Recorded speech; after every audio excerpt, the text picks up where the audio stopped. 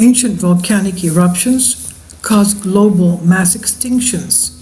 Burning coal and accelerated greenhouse gases choked out life. Science Daily Report, University of Leeds.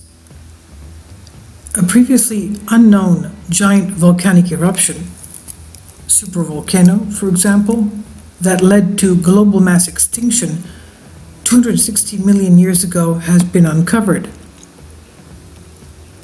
Researchers believe that they uncovered evidence of a giant volcanic eruption that led to global mass extinction 260 million years ago.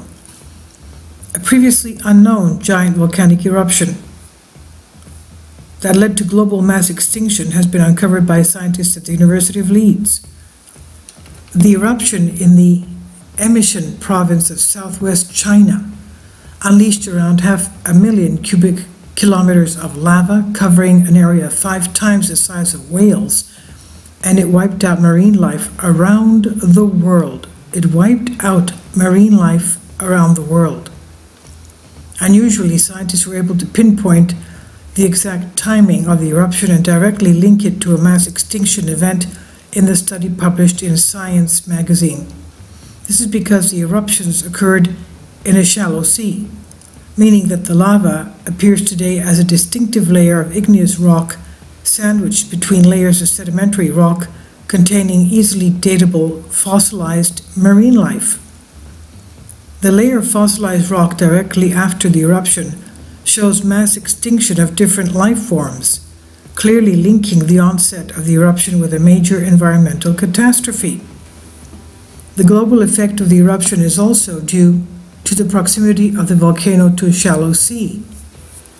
The collision of fast flowing lava with shallow water, the seawater, caused a violent explosion at the start of the eruptions, throwing huge quantities of sulfur dioxide into the stratosphere.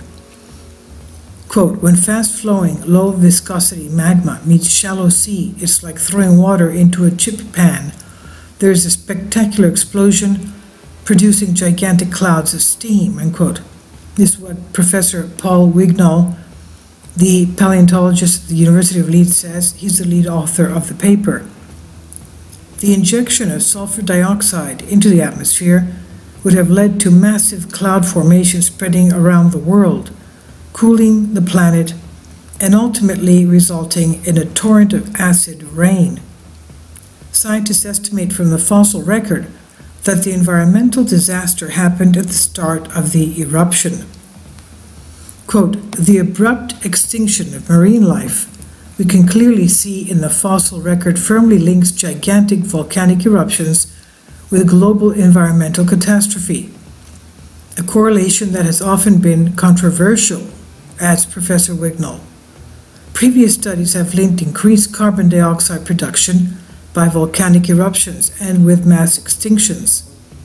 However, because of the very long term warming effect that occurs with increased atmospheric carbon dioxide, as we see with current climate change, the casual link between global environmental changes and volcanic eruptions has been hard to confirm.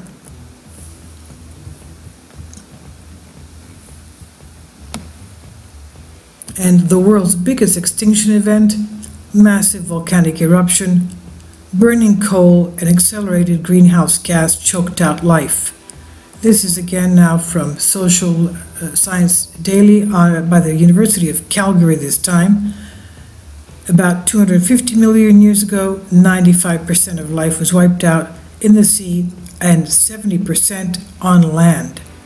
Researchers now believe that they discovered evidence to support massive volcanic eruptions burnt significant volumes of coal, producing ash clouds that had broad impact on global oceans. Researchers walking through sediments deposited shortly after the worst extinction event in Earth history on the shores of Buchanan Lake in Axel Heiberg Island in Nunavut. Nunavut, about two, so it was not only in China, it was also spread to Nunavut. About 250 million years about ago, about 95% of life was wiped out in the sea and 70% on land. Researchers at the University of Calgary believe they have discovered evidence to support massive volcanic eruptions burnt significant volumes of coal, producing ash clouds that had broad impact on global oceans. Quote, this could literally be the smoking gun that explains the latest Permian extinction, end quote, says Dr. Steve Grasby, adjunct professor, professor at the University of Calgary's Department of Geoscience and research scientist at Natural Resources Canada. Grasby and colleagues discovered layers of coal ash in rocks from the extinction boundary in Canada's high Arctic that give the first direct proof to support this and have published their findings in Nature Geoscience. Unlike the end of dinosaurs 65 million years ago, where there is widespread belief that the impact of a meteorite was at least the partial cause, it's unclear what caused the late Permian extinction. Previous researchers have suggested massive volcanic eruptions through coal beds in Siberia would generate significant greenhouse gases causing runaway global warming. Quote, Our research is the first to show direct evidence that massive volcanic eruptions, the largest the world has ever witnessed, caused massive coal combustion, thus supporting models for significant generation of greenhouse gases at this time, says Grasby. At the time of the extinction, the Earth contained one big land mass, a supercontinent known as Pangaea. The environment ranged from desert to lush forest. Four limbed vertebrates were becoming more diverse, and among them were primate, primitive amphibians, early reptiles, and synapsids, the group that would one day include the mammals. The location of volcanoes known as the Siberian Traps are now found in northern Siberia centered around the Siberian city Tura and also encompassing Yakutsk, Norilsk, and Irkutsk. They cover an area just under 2 million square kilometers, a size greater than that of all of Europe. The ash plumes from the volcanoes travel to regions now in Canada's Arctic where coal ash layers, coal ash layers are found. Grasby studied the formations with Dr. Benoit Beauchamp, a professor at the Department of uh, Geoscience at the University of Calgary. They called upon Dr. Hamed Sanei, adjunct professor at the University of Calgary and a researcher at NR Canada, to look at some of the peculiar organic layers they discovered. Quote, we saw layers with abundant organic matter, and Hamed immediately determined that they were layers of coal ash exactly like that produced by modern coal burning power plants, quote, says Beauchamp. Sanei adds, Our discovery provides the first direct confirmation for coal ash during this extinction as it may not have been recognized before. The ash, the author suggests, may have caused even more trouble for a planet that was already heating up with its oceans starting to suffocate because of decreasing oxygen levels. Quote, it was a really bad time on Earth.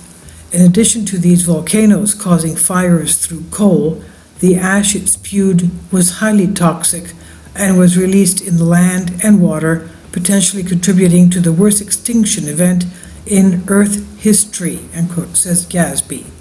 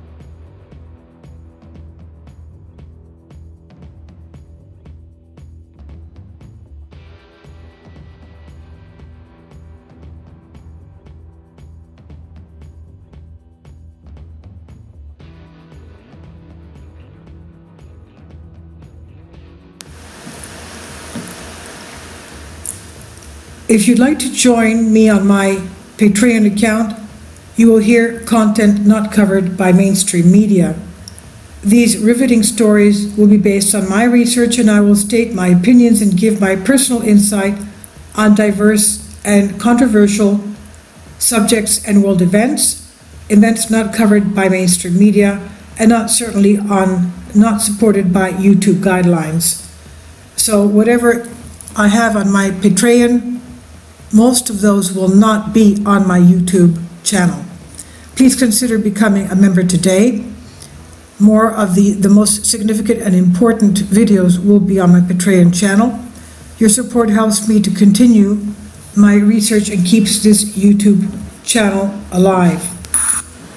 And we depend on your support, your generous charity, because we help economically challenged families here in Athens, Greece, in Kapota, and we also help the young generation with university tuition and the community around our church. Thank you.